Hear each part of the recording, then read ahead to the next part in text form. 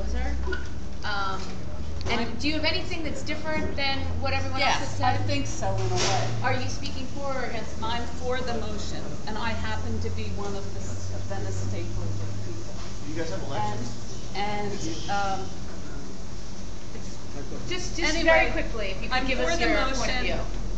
We've owned property since the seventies in Venice. There's always been problems. I'm against the social service because they've enabled people. I, I'm all for solutions, but there is a fear factor now that you see my face, things happen to us. Um, but also, I, I resent, this part hasn't been said. I resent that I couldn't afford to live at the beach. I had to work. I ironed clothes. I cleaned houses.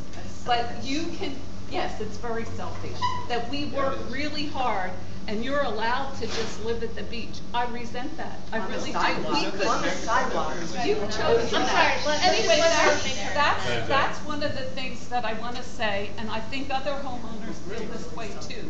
That we have worked so hard to get where we are, and we can't live at the beach, but people, for some reason, are allowed to do this. I don't get it. I honestly don't get it. I understand the social pro- problems, I understand a lot of those things. We've built housing.